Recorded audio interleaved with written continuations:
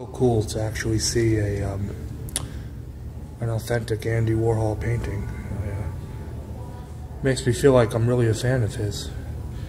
Uh, you know, just I've finally seen something uh, that Andy Warhol created. It's, it's great.